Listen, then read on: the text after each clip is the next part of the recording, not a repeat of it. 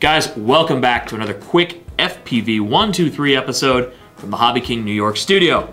My name is Matt, and today I've got some pan tilt gear to show you guys. Now, you may remember back in the spring, Stuart was last here, we did a cool video on kind of a full house fully dialed SkyMule FPV system with an OSD, uh, multi-camera switcher, and a pan tilt system. A lot of questions about pan tilt lately. So I've isolated that component. I've taken just this off. This is the uh, accessory canopy that comes with the SkyMule that's designed for camera installation.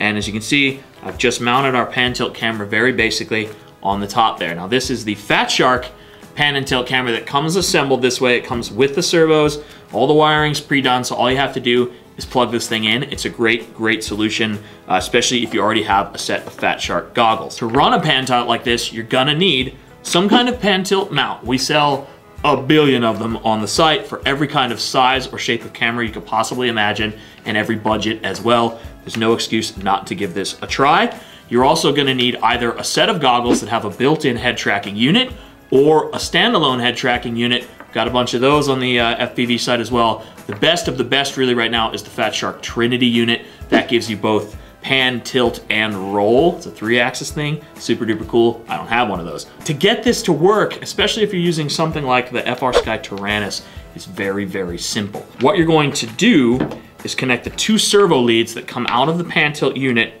to your receiver. So in this case, you can see I've removed everything from the receiver except the UBEC that's providing the power and the two channels that are the servos for the pan and tilt. Now to assign those, at least within the uh, FrSky system, all you gotta do is tell it that the trainer channel for uh, channels five and six are moving this unit. So in other words, go into the menu on the Taranis, you're gonna select the channels where you've plugged this in, in this case seven and eight, and you're going to assign those to a pair of PPM channels, which is how the Taranis recognizes its trainer. Those are PPM 5 and 6. So you're going to assign PPM 5 to channel 7, PPM 6 to channel 8, and that activates the pan tilt, or at least allows the signal to get to the camera. To actually go ahead and use the pan tilt on the Fat Shark goggles, you press and hold your channel select button. You'll hear a beep. That beep indicates that the pan tilt system is now activated, and as you can see, the camera moves where I turn the goggles.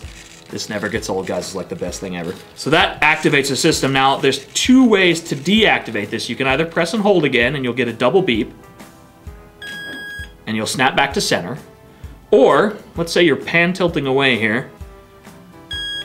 You're happily looking at stuff, and your buddy calls your name, and you turn your head real quick.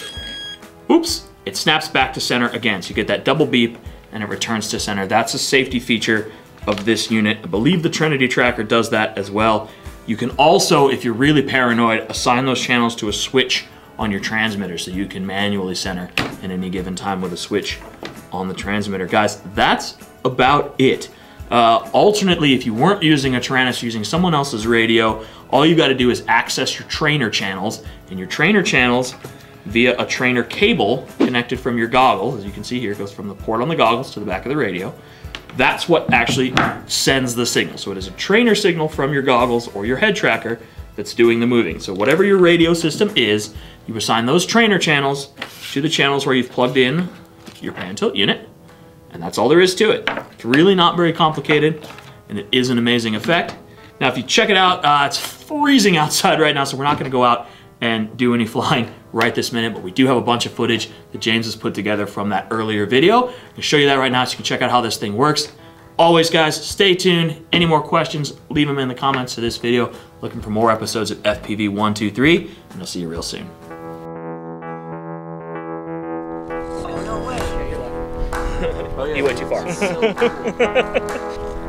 this is cool. Man. Man.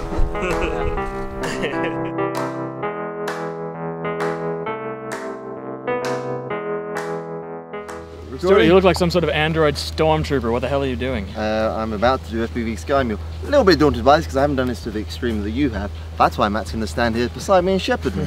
you ready? I think so. Yeah. I feel uh, so, ridiculous, okay, so, but it's going to be. so be don't fun. forget, you got pan tilt switch here. Right. That's live. Right. Don't tilt too fast or too far, it'll okay. shut off. There. When you ever want to go back to center, uh -huh. where's, where's the camera? down on your head. Now, guys, uh, you'll be able to see we're recording um, the output from the camera. I think I can switch between cameras as well, kind of, Matt. Is it that one? You can. Okay. It's that one. Okay, so you guys, uh, you'll be able to switch between uh, this camera here, the bottom one, and then of course the Mobius. Um, okay, right, it's ready to go. I've got head tracking off at the moment. Yep. I switch that. Wait, wait forwards. Wait for it.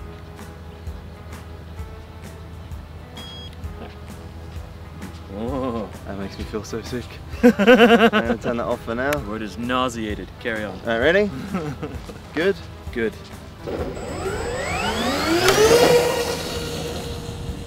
You're free. Okay, now it is quite a bit windy at the moment. Make sure you turn and stay somewhat close since we had some Yep. range issues before.